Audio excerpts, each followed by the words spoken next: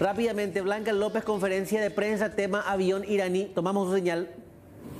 Emitida por la empresa Tabesa, se encuentra una referencia, en el campo de referencia se encuentran unos números, unos números específicos, y esos números no aparecen en la factura presentada ante la aduana de Aruba. Otra, otro dato que, que implica una inconsistencia es que en la, en la factura presentada ante la aduana paraguaya se consignó como medio de transporte el transporte aéreo, refiriéndose al, al, al denominado avión iraní. En la factura presentada ante la aduana de Aruba se consignó como medio de transporte el transporte marítimo. Otro dato que no coincide es la fecha de la factura. En la factura, en la factura que, se corresponde a la, a la factura que fue presentada ante la aduana de Aruba, se consignó como fecha 6 de mayo. En la factura presentada ante la aduana paraguaya se consignó como fecha 11 de mayo. Otro dato que no coincide es el monto de la operación. En la factura presentada ante la aduana paraguaya se consignó el monto de 777 mil dólares. En la factura presentada ante la aduana Aruba se consignó el monto de 754 mil dólares.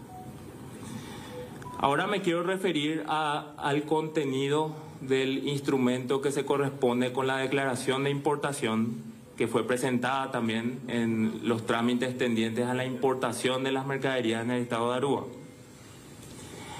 En, dentro de este documento lo van a ver posteriormente con más claridad gráficamente en, en la casilla que corresponde al remitente exportador no se, no se consignó ningún dato. No se consignó ningún dato. No se, no se consignó que el exportador fue Tabacalera del Este.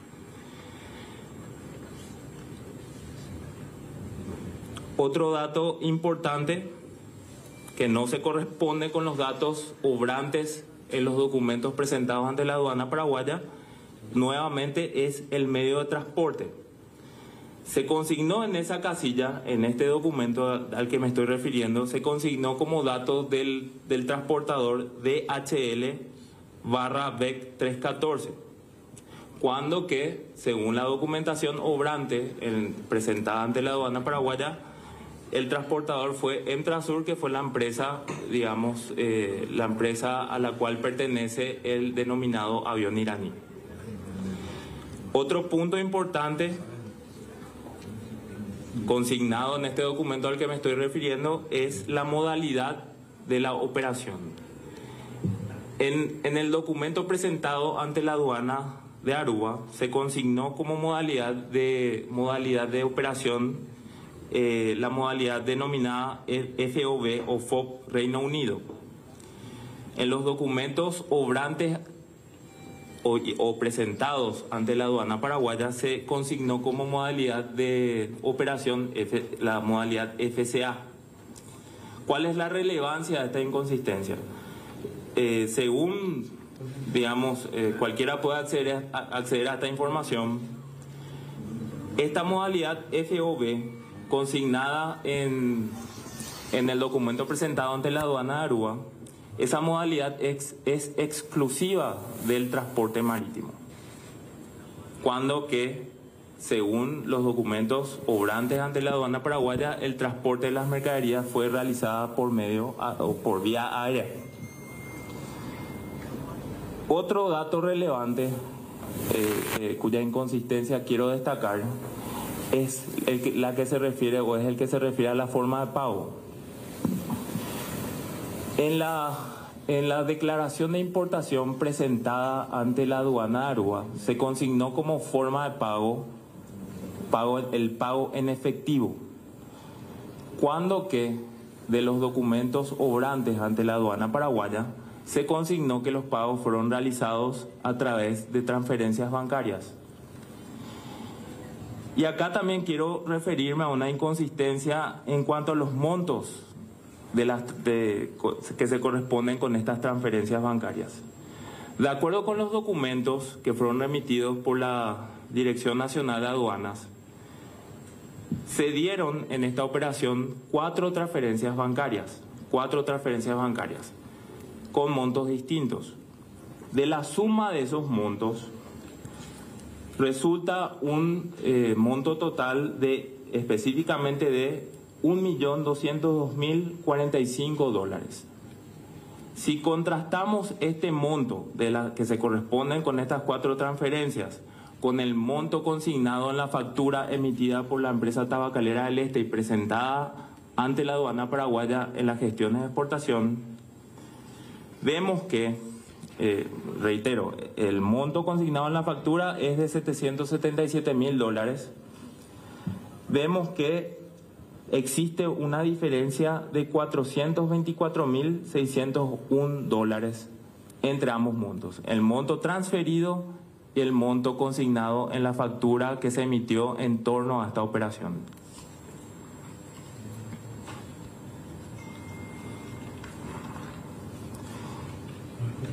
Eh, por último, antes de cederle la palabra a, quienes me acompañan, quiero referir que esta diferencia en cuanto a la modalidad de la modalidad adoptada para la realización de esta operación es muy relevante porque de esta modalidad surgirá información acerca de quién contrató con la empresa Entrasur para que sirva de, digamos, de, transporte a las mercaderías que finalmente fueron importadas al estado de Aruba. Eh, en líneas generales, todas estas inconsistencias fueron explicadas en el escrito que presentamos ante el Ministerio Público y consideramos que son sumamente relevantes porque permiten inferir varias hipótesis acerca de la realización de conductas que pueden tener relevancia penal y también consideramos que estas hipótesis permitirán al Ministerio Público abrir eh, nuevos caminos de investigación tendientes a incorporar informaciones que permitan confirmar esas hipótesis.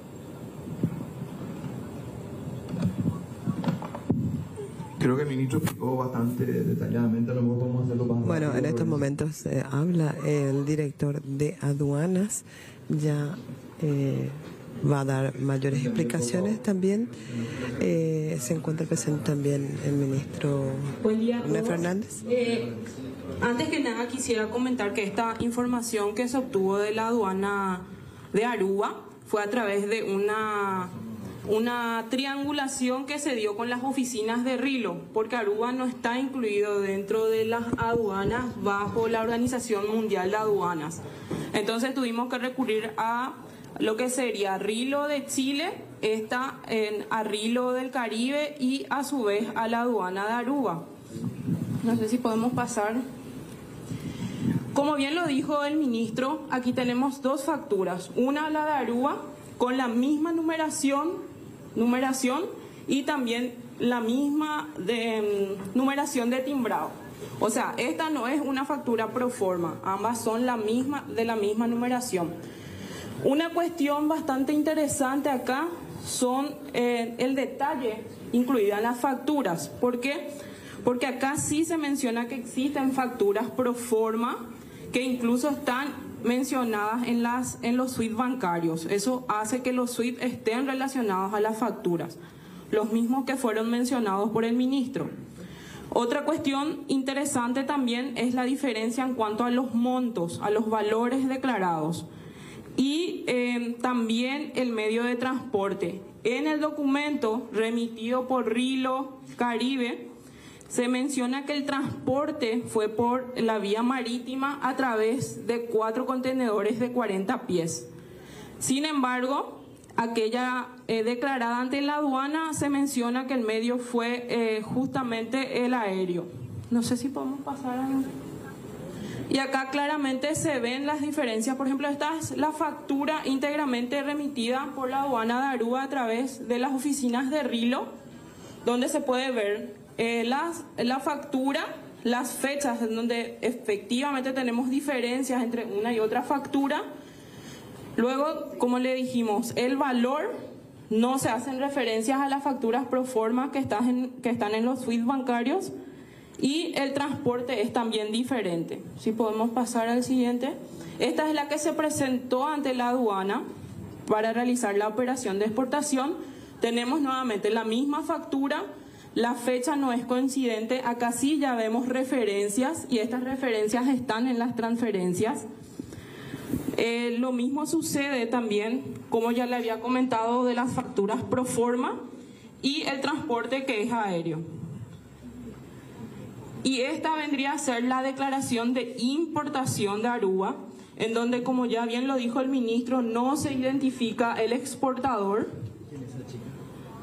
se identifica justamente a DHL y eh, se incorpora también el país, que es Venezuela por las siglas, y también como lo había indicado el ministro, aquí tenemos justamente las siglas FOD de Reino Unido, que es muy importante también.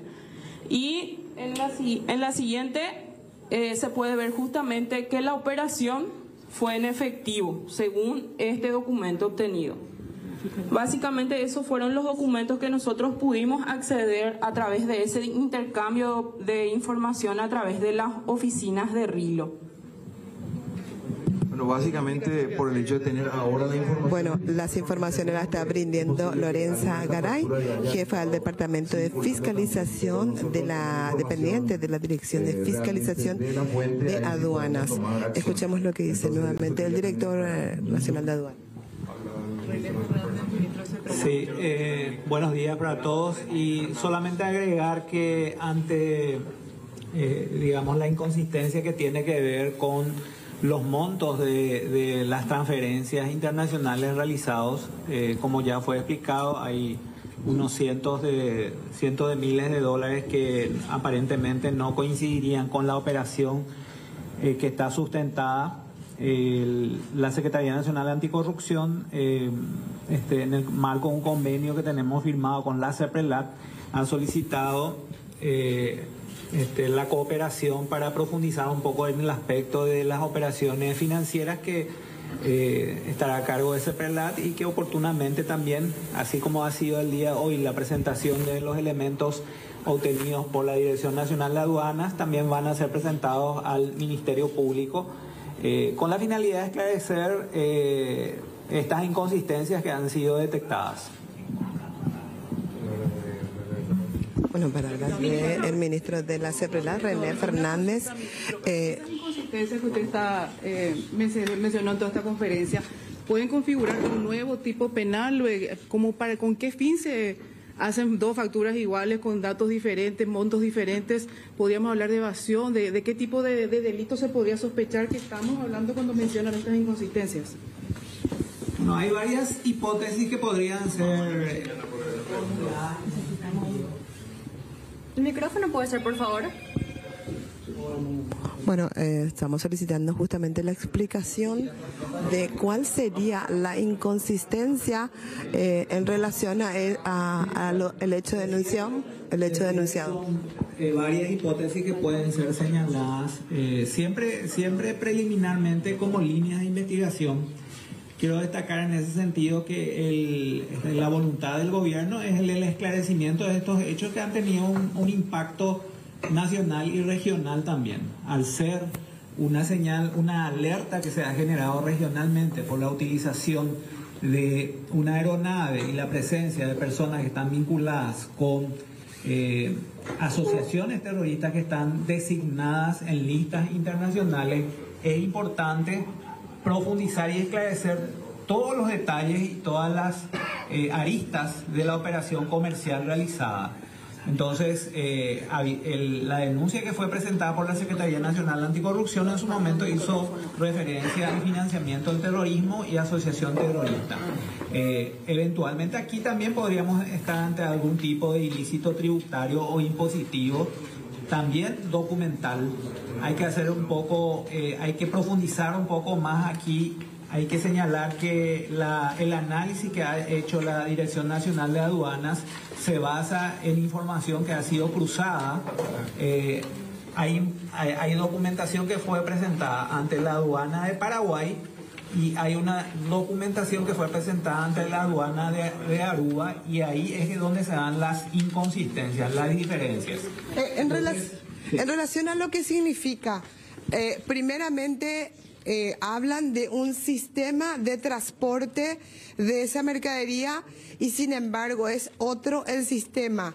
que ¿En qué afectaría eso y existe otro trámite dentro de el sistema eh, de aduanas de nuestro país para hacer ese cambio? Tenían que haber hecho un cambio total eh, atendiendo a que dice DHL un sistema vía eh, marítima y sin embargo lo hacen vía aérea con este avión iraní. Bueno, eh, por eso es que nosotros hablamos de inconsistencias. Cuando se hace referencia a DHL, se, se hace referencia a una empresa en concreto. Una empresa transportadora que es DHL Venezuela. Nosotros tenemos aquí registrado que la operación se hizo a través de Entrasur Venezuela. Eh, por eso es que decimos que se tiene que esclarecer porque eh, una hipótesis perfectamente factible es que haya existido una movilización de sumas de dinero y que la misma operación haya sustentado eh, este, dos operaciones o dos movimientos de suma de dinero. Es decir, la misma operación de importación-exportación eh, cubra o, o justifique esa movilización de dinero, más aún teniendo en cuenta, como ya fue señalado, que hay una diferencia de aproximadamente eh, 400 mil dólares entre los, las transferencias realizadas vía bancaria eh, y el monto de la factura. Eso además de que la factura presentada en Aruba eh, individualiza que la operación fue realizada en efectivo. La hipótesis principal entonces el financiamiento del terrorismo directamente sería una de las hipótesis que están teniendo ustedes. No- nos- nosotros realmente somos muy respetuosos en ese sentido del trabajo del Ministerio Público y cumplimos como autoridades públicas y como ciudadanos eh, el de poner a conocimiento al Ministerio Público los elementos que van siendo eh, recabados en el contexto de las actividades regulares, en este caso realizadas por la aduana y por la Secretaría Nacional Anticorrupción. Es decir, lo que ustedes quieren poner en énfasis que en ese vuelo, en ese transporte de carga, algo estaba mal. Para hablarlo, para hablarlo así en un sentido más técnico, hay muchas inconsistencias documentales y se tiene que esclarecer eh, cuál es el motivo, cuál es la razón de esas inconsistencias documentales, porque estamos hablando de documentación que fue presentada ante dos autoridades nacionales distintas. Para poder estas inconsistencias que ustedes ahora aportan y van a agregar a la documentación que ya entregaron al Ministerio Público. Solo cabeza sería responsable de esas inconsistencias. Nosotros no, no estamos en condiciones de atribuir responsabilidades. Sí individualizamos quienes intervienen en esta operación y están, es, es bien clara, eh, digamos, la circunstancia de eh, los, el- las empresas, la empresa que ha operado como exportadora, quien ha operado como importadora y quien ha intervenido como eh, consignataria. Eh, es decir, eh, en ese sentido, quiero reiterar, ¿verdad?, que es una presentación objetiva de documentos y de inconsistencias que pueden ser detectadas, por supuesto, con una mirada técnica que es la que ha aprobado, la que ha aportado la Dirección Nacional de Aduanas eh, y que, eh, sobre todo, eh, para tener en cuenta, ¿verdad?, se requiere una ac- actuación este, un poco, un poco más, más importante eh, de la cooperación internacional ya a través de los mecanismos con que cuenta, cuentan los organismos de, de investigación de los países para poder eh, desvelar o para poder descartar o confirmar eh, la razón de estas inconsistencias. Se va, se va a averiguar si existen otros movimientos similares donde se den las mismas inconsistencias anteriores a este vuelo iraní. Nosotros tenemos, en particular, digamos, este es un caso investigado, digamos, de este, pero sí nosotros eh, tenemos una cantidad de evaluaciones de facturas. También aprovecho para que la opinión pública sepa.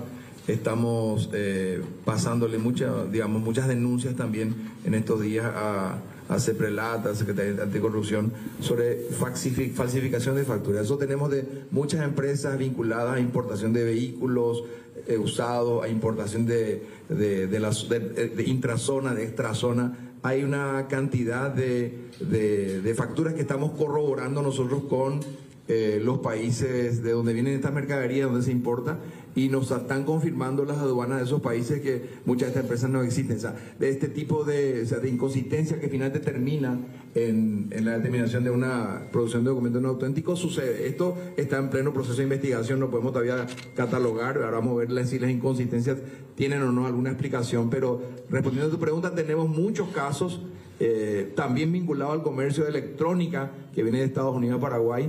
Hay gente que, este, para decirlo en, en términos coloquiales, fabrica facturas.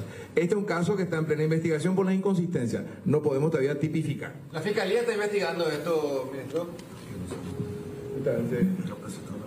Bueno, eh, ya habla. eh, al iniciar justamente esta conferencia señalaron que estaban haciendo Minutos más vamos a retomar el contacto con nuestra compañera Blanca López, que está con todos los detalles acerca de esta nueva conferencia sobre el avión iraní.